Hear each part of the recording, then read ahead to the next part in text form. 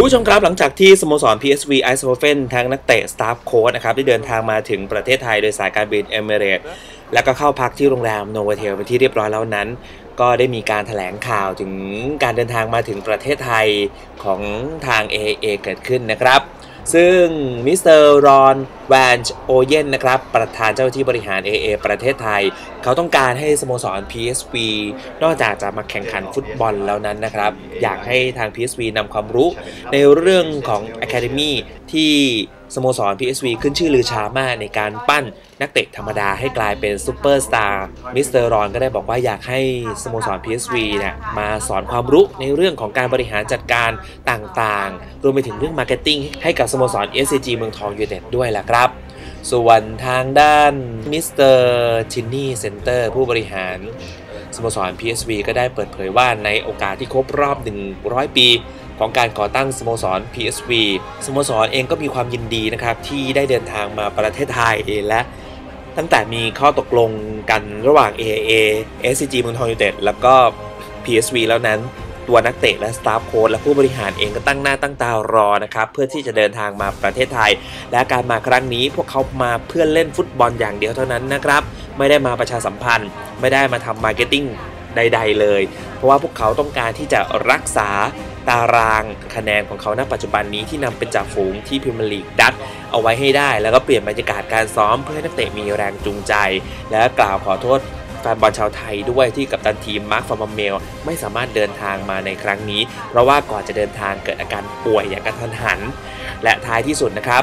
มิสเตอร์จินนี่ก็ได้กล่าวว่า เขาหวังว่าวันอังคารนี้นะฮะแฟนบอลจะเข้ามาเต็มความจุและ PSV จะเป็นผู้ชนะในวันอังคารนี้ครับ ซึ่งในการถแถลงข่าวครั้งนี้นะครับ ก็ได้มีคุณองอาจก่อสินค้าเลขาธิการสมาคมฟุตบอลก็ได้ มาเป็นสักขีพยานด้วยนะครับ คุณองอาจก็ได้เปิดเผยว่าในตัวแทนของสมาคมฟุตบอลแห่งประเทศไทย ก็มีความยินดีเป็นอย่างยิ่งนะฮะ ที่ได้โอกาสต้อนรับสโมสรระดับโลกอย่าง PSV Eindhoven และก็คาดว่าเกมวันที่ 8 เนี่ย จะถือว่าเป็นเกมที่สนุก แล้วก็แฟนบอลจะคุ้มค่ามากกับการได้เข้ามาชมเกมในบรรยากาศที่ SCG Stadium ครับ และนี่คือบทสัมภาษณ์ของทางสโมสร SCG เมืองทองยูเต็ดนะฮะ พี่เป้จะรู้สึกอย่างไรบ้าง เมื่อสโมสร PSV บอกว่ามาครั้งนี้จัดหนักจัดเต็มและมาเพื่อชนะ และมาเล่นฟุตบอลอย่างเต็มที่เท่านั้นครับ มาเพื่อชนะ ถึงแม้ว่าจะขาดกัปตันทีมก็ตามที แต่ว่ามาเพื่อชนะของเราจะรับมือไหวไหมครับพี่เป้เอ่อผมว่ายกก้าทำการบ้านนะครับเอ่อนักเตะทุกคนตื่นเต้นครับเพราะว่านักเตะทุกคนเนี่ยจะพยายามโชว์ให้เห็นว่าเอ่อมาตรฐานฟุตบอลไทยอยู่ตรงไหนแล้วนะครับไม่คงไม่ใช่ง่ายที่ PSV จะมาชนะเราในบ้าน เพราะว่าเราก็ไม่แพ้ใครทั้งฤดูกาลนะครับเราก็ไม่ปล่อยให้เกมนี้ โดยเฉพาะเอ่อนอกจากเรื่องของความต่อเนื่องของความสำเร็จที่เกิดจากเอฟเอฟสุสกิคัพแล้วเนี่ยที่นักเตะของเราทำผลงานที่ดีแล้วทุกคนอยู่ในภาพที่สมบูรณ์คูเชฟนะครับแล้วก็รวมกับเอ่อนักเตะตัวหลักของเราที่เป็นตัวความหวังเปาโลเดกโนเซียกามาริโอยูรอฟสกี้รีกวางชนเพราะว่าเรามีทีมที่ดีพอที่จะที่จะเซอร์ไพรส์ครับพีเซียเดฟเฟนด้วยเช่นกัน แล้วก็อย่าลืมว่านี่การเล่นที่เมืองไทย อาจจะเป็น winter แต่ winter ในแบบไทยนี่คือเหมือนกับจับจะ summer ของยุโรปเพราะฉะนั้นเขาจาก minus 5ก็อาจจะต้องใช้เวลาปรับตัวเราอาจจะมีความได้เปรียบตรงนี้ด้วย แต่ที่สำคัญกว่านั้นคือเสียงเชียร์นะครับ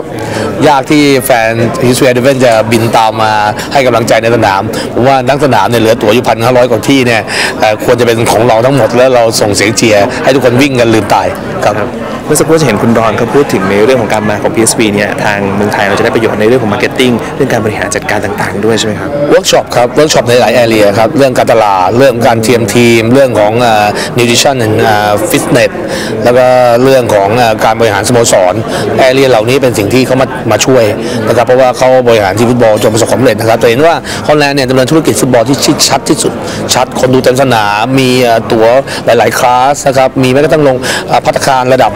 Michelin star เนี่ยอยู่ในสนามด้วยซ้ำเขามองฟุตบอลเป็นธุรกิจแล้วอย่างที่บอกว่าเขาซื้อนักเตะปลุกปั้นนักเตะปั้นนักเตะจากเยาวชน แล้วเสร็จแล้วก็ส่งถ่ายต่อจากลีกต่าง ๆ ในยุโรปว่าทำรายได้มโหฬารนะครับบอกว่าเราน่าจะศึกษาถึงความสำเร็จว่าทำไมเขาพัฒนารุ่นต่อรุ่นได้ขนาดนั้น โดยที่ลีกของเขาไม่มีทีท่าว่าจะตกลงเลยนะครับแล้วก็ฮอลแลนด์อย่างที่บอกว่า